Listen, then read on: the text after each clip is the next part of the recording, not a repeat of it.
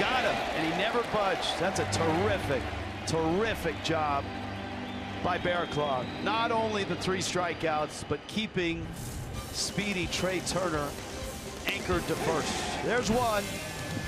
That would be two. This the third. Tie game.